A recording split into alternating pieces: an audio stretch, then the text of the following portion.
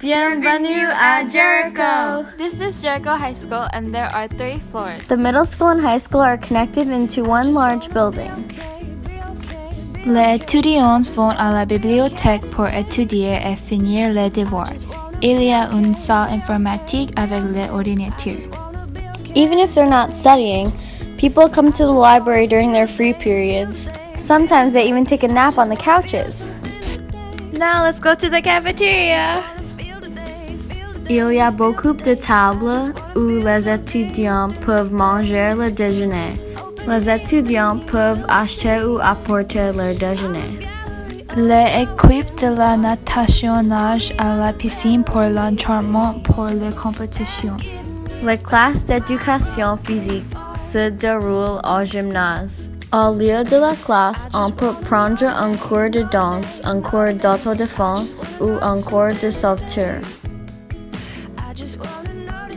School starts at 9 in the morning and ends at 3:30 in the afternoon. There are 9 periods per day and each period is 40 minutes long.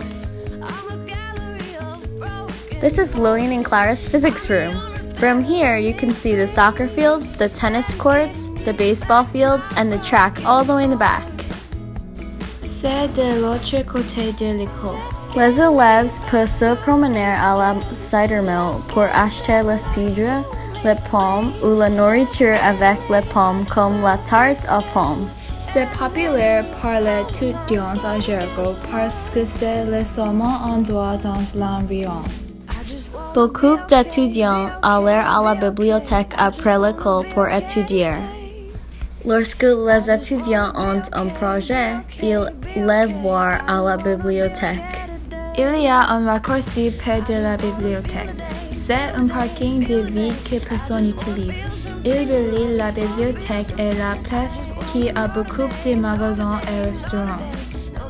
Après étudier, les ados peuvent traverser la rue pour acheter les boissons ou la nourriture. After they finish their homework, the Jericho students finally go home. Thanks for watching!